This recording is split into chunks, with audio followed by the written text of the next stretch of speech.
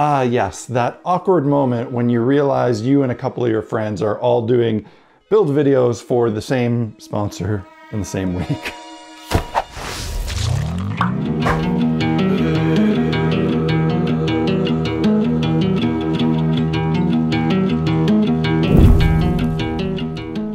Hey guys, welcome back to Black Magic Craft. This week I built a nice little scenic diorama model thing using a really nice model from Archvillain Games. And right as I was starting to build this thing, I realized that two of my friends, Emil from Squidmar Miniatures and Neil from Real Terrain Hobbies, were also doing build videos with models from the same company in the same week. Why not make it a sort of light friendly challenge and do 24 hour diorama builds? Emil and Neil, I think, are actually going balls to the walls and doing theirs in one 24 hour stretch. But the week I made this is the week that my daughter is starting grade one.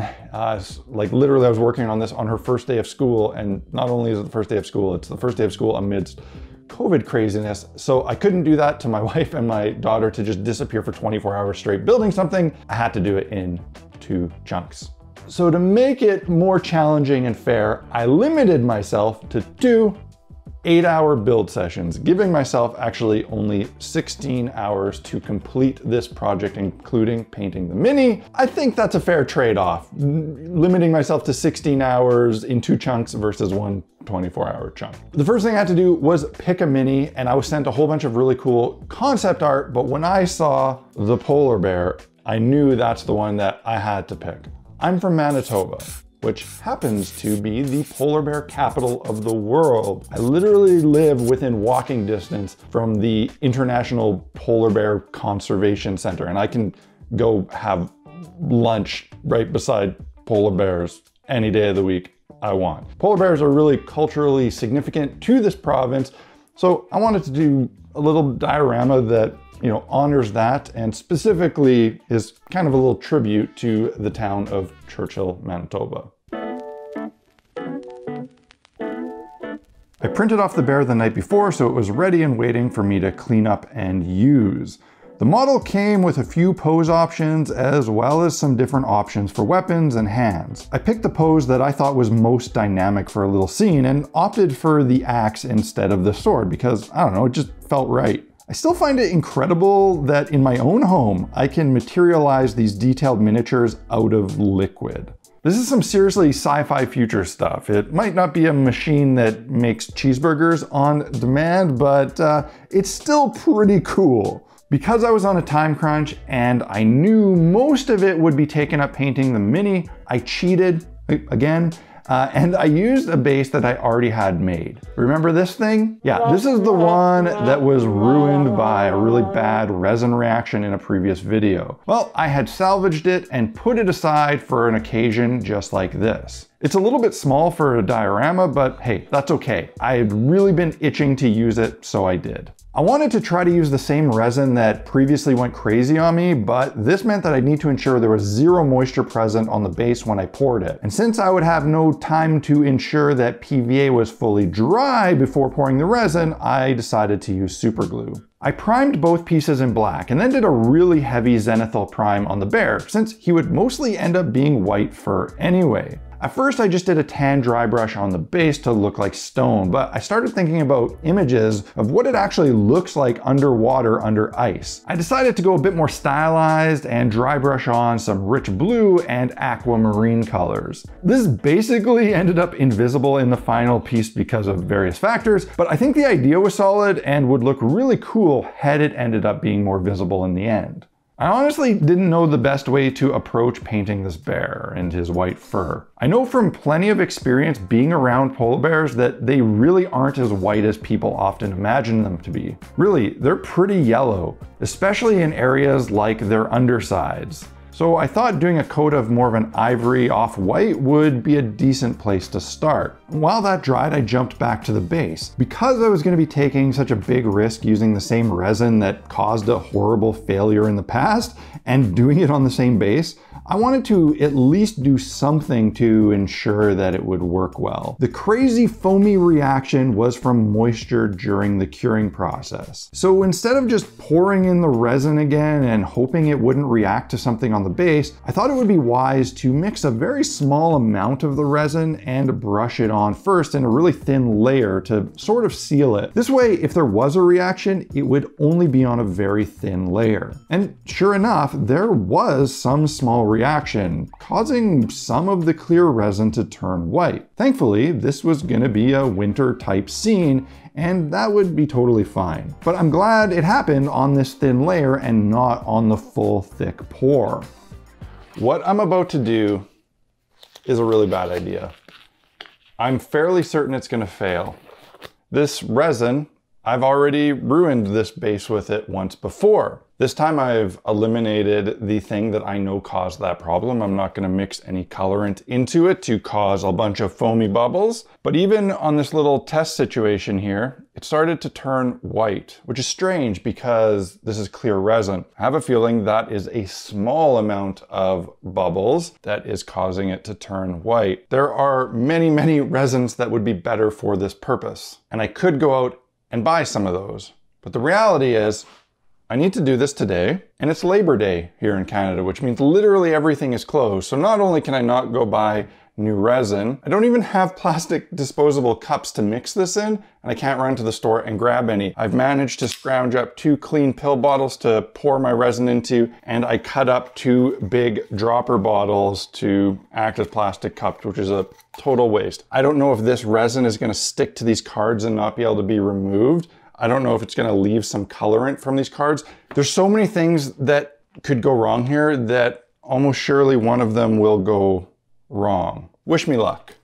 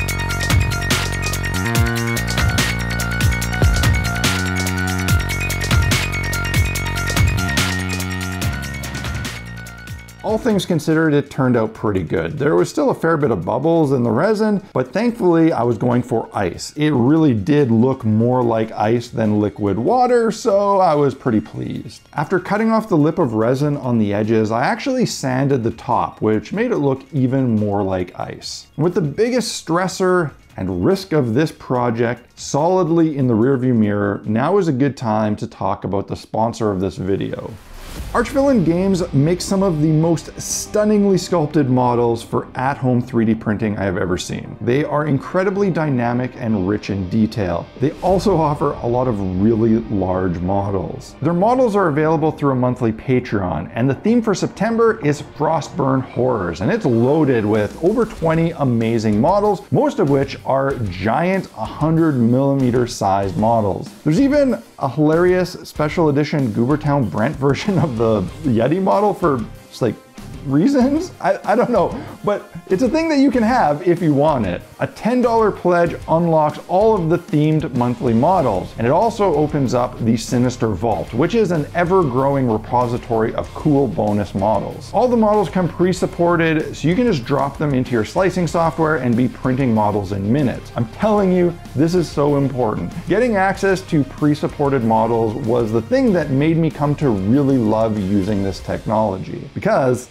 the companies are making it basically idiot proof. What's really neat about Archvillain's monthly service is that they have another tier. At $13.99 a month, that gives you access to a 5th edition D&D module that is themed with the month and meant to be used with the models. If you're looking for badass sculpts and want supplements to use them with in your game, this is probably the company for you. I'll put a link in the video description so you can jump on over to their page and get the models for yourself. Thanks Archvillain for sponsoring this video. Now, time to finish my piece.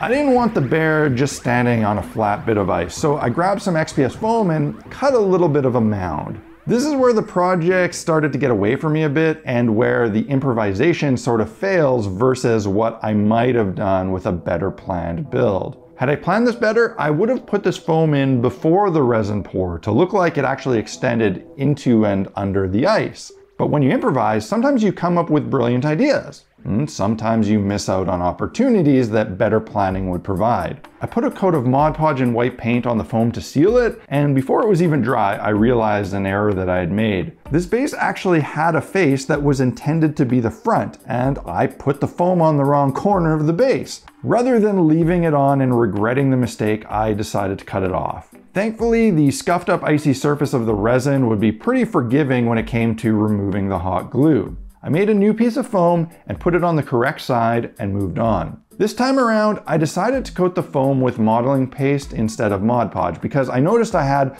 a few small gaps between it and the resin, and this would work better for filling those. While it dried, I jumped back over to the bear. I mentioned earlier that polar bears actually have a surprising amount of yellow on them. And since I needed a way to give the fur some definition, I thought doing a yellow wash might be appropriate. So using some contrast paint, I went over all the fur. This was diluted about 50% with contrast medium to make it lighter. And in hindsight, I probably could have gotten away with diluting it significantly more. Now looking at the base again, as much as I liked that icy look of the resin, the more I looked at it, the more it bugged me that the whole thing was looking like three weird layers. I was trying to do a tribute to Churchill and not British Columbia, so I didn't want this to look like an Nanaimo bar. I was really wishing that the foam extended into the resin, and I thought about ways to fake this this far into the project. I probably should have left it alone, but instead I decided to mask off some of the resin with tape so that I could fill and sand some of the seams and other areas and paint the whole thing out to look like a uniform border. I spray painted it all black and hoped for the best. This worked out okay but I instantly regretted it. At this point, there was no going back though. I could start a new base with what I had learned and created something much better, but time and deadlines, as usual, dictated the situation and I pressed forward. I tried painting it out in ivory to see if it would look better than the black, and well, it certainly looked different. But I had to put the base aside and move on to painting the bear. I figured my best bet was to just dry brush all the fur white. A better person may have taken the time to paint out each strand of fur, but I am not that person. Instead, I slowly built up the white, dry brushing on this kind of off-white bone color. Once it got as bright as it could with that color, I switched to a pure white and continued dry brushing. For the leathers, I went with the absolute quickest and easiest method possible. Snakebite leather contrast paint. Say what you will about contrast paint, there's no denying it's one hell of an easy way to quickly get tabletop ready color on a model. I did a really rushed highlight on the leathers and painted out all the metallics in gunmetal. And I followed that up with a light coat of Nuln Oil.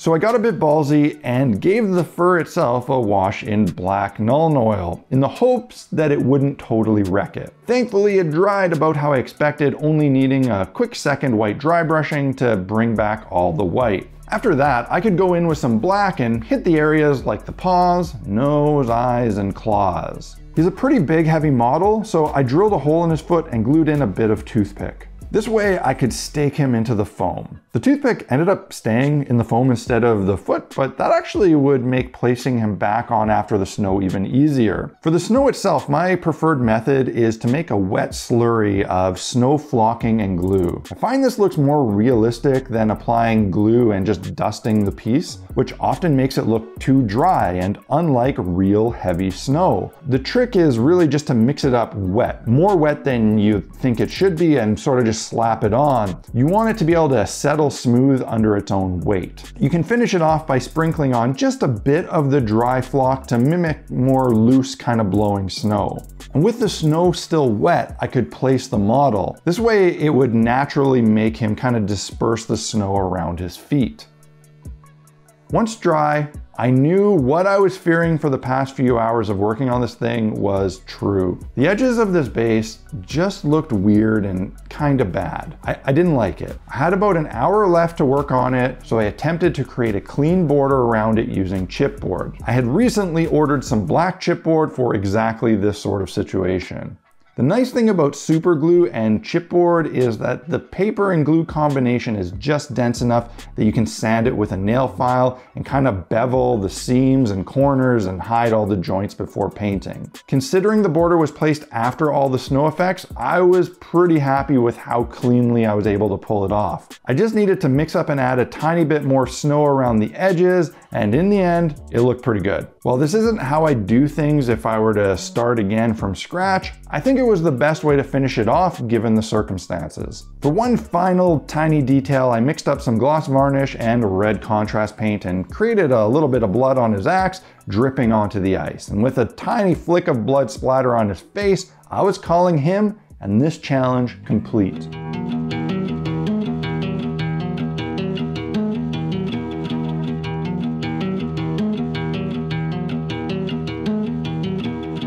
Despite all the things that I do differently a second time around, I still really like this guy and the way he turned out. And while I may not have succeeded on every aspect of this project, I finished it, and a finished project or model is always a success. If you want to grab some hobby supplies and support the channel in the process, check out blackmagiccraft.ca. I've got an essential equipment page that is a great resource for buying supplies. And if you want to help me continue making these videos, the best way you can do so is by supporting the channel on Patreon. Thanks for watching, guys. I hope you enjoyed the video. If you did, hit the like button. Let me know your thoughts in the comments section. Now, be sure to go check out the videos by my friends and see how they made out with their 24 hour dioramas. Emil's is probably going to be beautifully painted despite the time crunch. And I bet that Neil's is going to have a really big, elaborate, scenic base.